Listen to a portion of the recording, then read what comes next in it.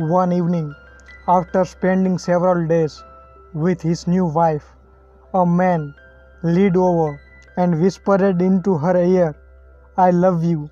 She smiled, and the man smiled back, and she said, When I am 80 years old and I am thinking back on my entire life, I know I will remember this moment. A few minutes later, she drifted off to sleep.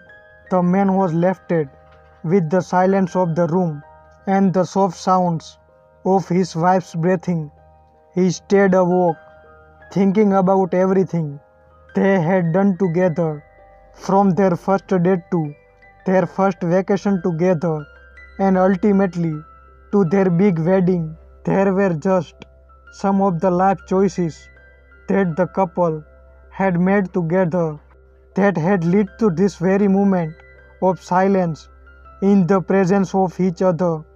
At the point, the man then realized that it don't matter what they had done or where they had gone, nor did it matter where they were going. The only thing that mattered was the serenity of the very moment, used to being together, breathing together, and resting together. Friends, we cannot let the clock, calendar, or pressure from external sources take over our lives and allow us to gather the fact that every moment of our lives is a gift and a miracle, no matter how small or seemingly insignificant it is.